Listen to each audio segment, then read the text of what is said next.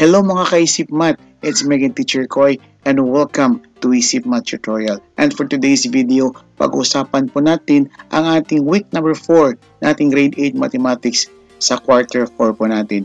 Pero bago po lahat, if you're new to my channel, please don't forget to subscribe and press the bell icon para po lagi po updated sa lahat ng mga bagong videos po natin. At wag, at wag niyo pong kalimutang i-follow ang ating Facebook page, Isip Math Tutorial at mag-join ng ating Facebook group, DepEd Teachers Files. Okay, so ito po yung ating topic ngayon, Properties of Parallel Lines. And once again, this is for grade 8 Mathematics, quarter 4, week number 4. At ang ating learning competency proves properties of parallel lines cut by transversal.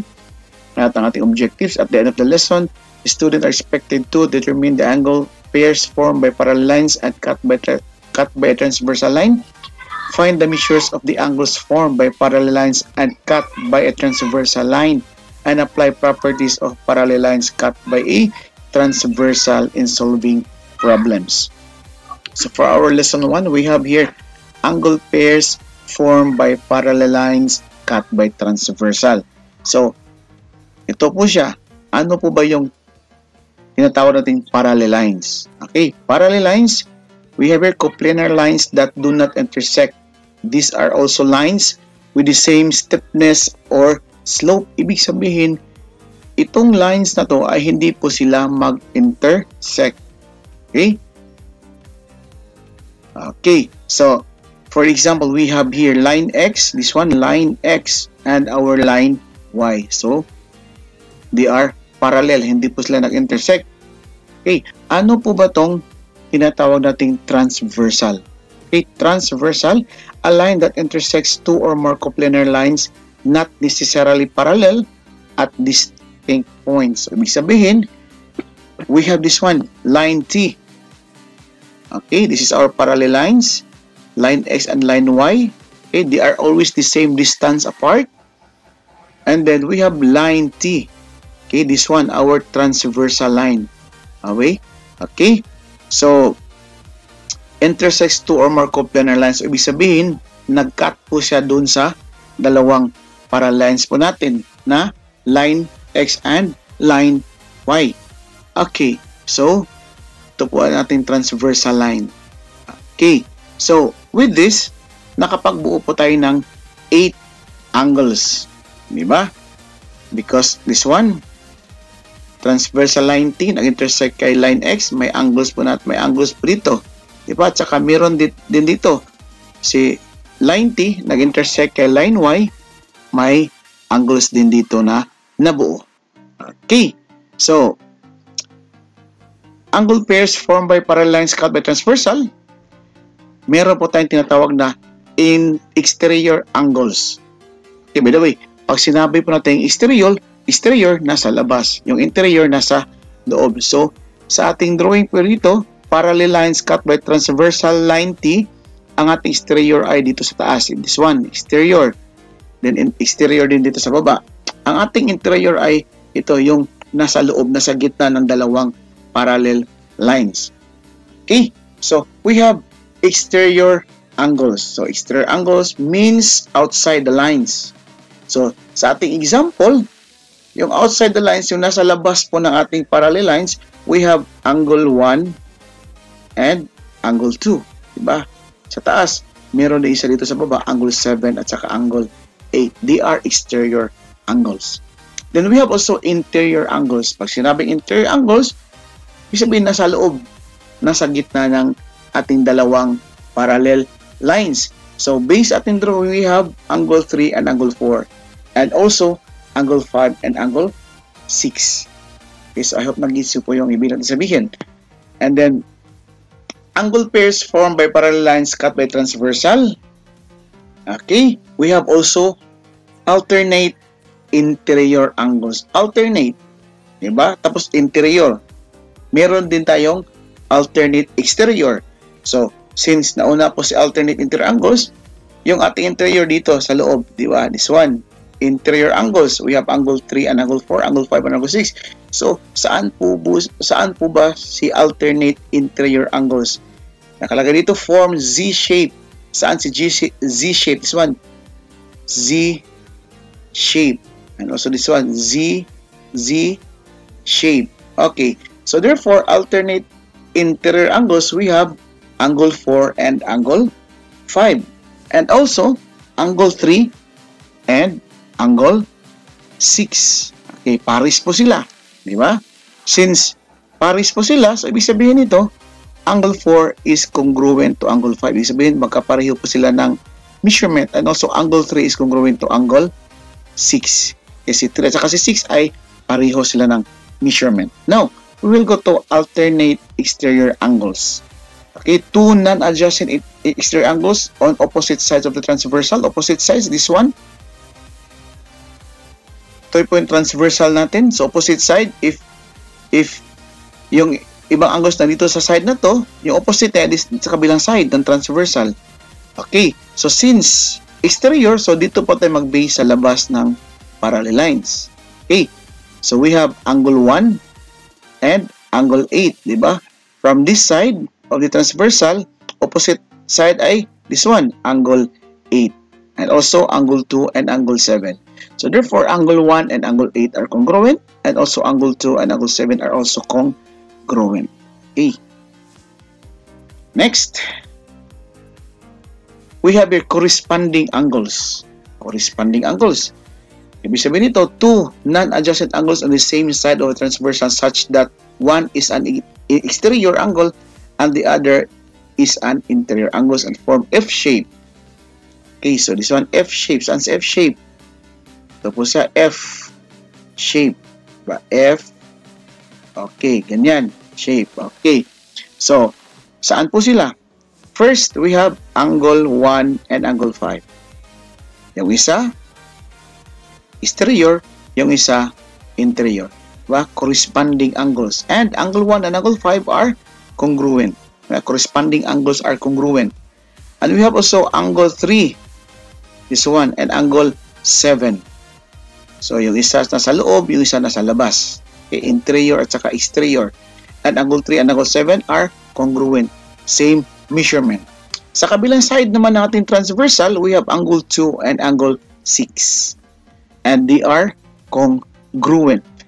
Okay? Yung isa sa labas or exterior, isa interior. Then the last corresponding angles, angle 4, we have angle 4 and angle 8. Okay? Okay, kung, kung nakikita natin dito, 'di ba? Same side po sila ng 'di ba? Same side dito. Okay, same side. Okay, this is our transversal. Tapos sila lahat ito, same side. Kabila din same side. Okay. So, angle 4 and angle 8. Yung isa interior, isa exterior. And they are congruent. Okay, next, we have same side exterior angles. Okay, two exterior angles on same side of the transversal. So, if this is our transversal, same side, so this side are same po sila dito. And kabila, same din. So, since exterior, so therefore, this one, angle 2 and angle 8 angle 2, and angle 8. Then, sa kabila naman, exterior, sa kabilang side ng transversal, we have angle 1 and angle 7. And we have also same side interior angles. Interior angles na naman, na naman po tayo. So we have angle 4 and angle 6, same side. Sa kabilang side, angle 3 and angle 5, same side. Okay. So by the way, yung same side po natin, 'di ba, pares po sila. Diba? Like, like this one, angle 2 and angle 8. If we add angle 2 and angle 8, the result is 180 degrees. And also the angle 1 and angle 7, if you add this one, 180 degrees. Same also with the interior angles. Angle 4 plus angle 6, 180 degrees. Angle 3 plus angle 5 is 180 degrees. Okay, so if two parallel lines are cut by transversal line, then lesson 2 na po tayo. Properties of parallel lines cut by transversal. Then, alternate interangles are congruent. Sinabi ko kanina, di ba? Alternate interangles are congruent. If two parallel lines cut by a transversal line? Yung line X at saka line Y, cut by line T, so therefore, lahat ng alternate interangles are congruent. And at the same time, alternate exterior angles are also congruent. Diba? Sabi ko kanina. Then, corresponding angles are congruent. And same side interior angles are supplementary. Pag sinabi ni of supplementary, if we add the two angles, is equal to 180 degrees. Diba? Supplementary. So, same side interior, yung sabi ko kanina. Tapos, same side exterior are also supplementary. If we add the two angles, the result is 180 degrees. Okay, so we have here, um, find the measure of the angles formed by parallel lines cut by transversal given that angle A, the measurement of angle A is equal to 130. So we have here two lines, di ba? Cut by transversal line. Then, given ang measurement ni angle A, angle A, this one, angle A is equal to 180 degrees. Di? So, since angle A is 180, eh, no, 130 degrees, I mean 130 degrees, and angle A and angle B are adjacent, so therefore angle A is plus angle B is equal to 180 degrees. Diba? So, ano po ba yung measurement ng angle B? Given dito, angle B is 50, 50 degrees. Okay. So, ito na po siya angle A at saka si angle B. Diba? Angle A is 130 degrees, angle B is 180 degrees, uh, no, 50 degrees. So therefore, if the measurement of angle is 130 degrees, dapat si angle D is also 130 degrees because they are vertical angles. And if the measurement of angle A is 130 degrees, therefore the measurement of angle E, this one, sa baba, ay 130 degrees. Bakit? They are corresponding angles, di ba? Yung isa exterior, yung isa interior. Okay. And since angle B is 50 degrees, therefore angle C is also 50 degrees because they are vertical angles. And if angle C is 50 degrees, so therefore angle G is also 50 degrees because they are corresponding angles. Di ba?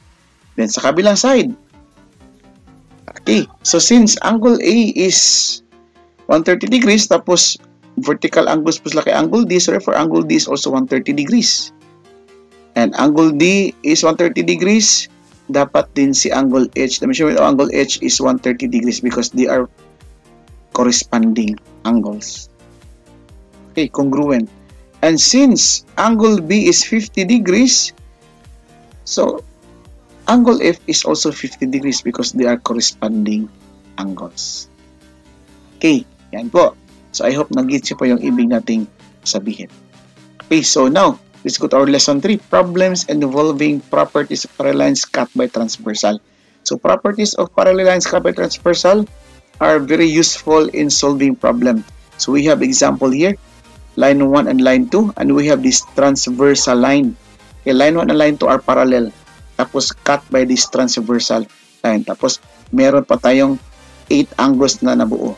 Okay, now find the value of x given that line 1 is parallel to line 2. If the measurement of angle M, ano, angle 1, measurement of angle 1, this one, is equal to 2x plus 25. And the measurement of angle 8, which where's angle 8? This one is equal to x plus 75. So, Based ating drawing, si angle 1 and angle 8, ano po sila? They are alternate interior angles. Pag dito yung alternate interior angles, if we go back to our lesson number 2, di ba? Alternate interior angles are congruent. So, ibig sabihin, ang measurement ni angle 1 ay equal to the measurement of angle 8. Okay. Given yung measurement ni angle 1 na 2x plus 35, tapos given din yung measurement ni angle 8 na x plus 75. But how, ha, paano po natin malalaman nga, malaman na they're congruent? Meron pa tayong variable x. So first, we're going to solve the value of x. So since angle 1 and angle 8 are alternate interior angles, thus they are congruent, then our solution is this one. So we can come up with this equation the measurement of angle M is equal to the measurement of angle 8. Yes, because they are congruent. by substitution, we will substitute the value yung, yung given kanina. Di ba? The value, the, the measurement of angle 1 is 2x plus 25 is equal to the measurement of angle 8, 8 which is x plus 75. Then combining like terms, combine natin yung may variable x tapos yung walang variable, nagiging ganito po yung ating equation. We have now 2x minus x is equal to 75 minus 25 using the property of equality. Okay? So simplify. 2x minus x is x. 75 minus 25 is 50. So therefore, the value of x is 50. Okay. So, next. Nakuha natin, di ba? 50 yung value ni x. So, if we try to substitute 50, this one, 50, so either of the two equations, yung ating dalawang equation ay si 2x plus 25, tapos x plus 75. So, magiging ganito. Substitute si 50.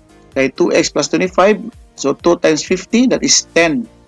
La, ano, 2 times 50, that is um, 100. I mean, 100. Plus 25, so that's 125. Okay? Then, if isa-substitute natin doon sa doon sa measurement ni angle 8, angle 8 which is x plus 25, so x is 50 plus 75, so 50 plus 75 is 125. So therefore, na-prove natin na si angle 1 is congruent to angle 8 because they are um, alternate interior angles. Okay, so for number 2, we have the measurement of angle 3 which is 4x plus 31. Saan si angle 3? This one. Plus the measurement of angle, ano, the measurement of angle 8 is 2x minus 7. Then this one. So they are same side interior angles. Diba? This is our transversal line. Angle 3 and angle 8 are same side interior angles. Okay, so solution. Since angle 3 and angle 8 are same side interior angles, thus they are supplementary. So, ibig sabihin, if we add angle 3 and angle 8, dapat equal to 180 degrees. So, magiging, magiging ganito equation po natin. The measurement of angle 3 plus the measurement of angle 8 is equal to 180 degrees. Substitute po natin. Yung measurement angle 3 is 4x plus 31. Measurement ng angle 8 is 2x minus 7 is equal to 180 degrees.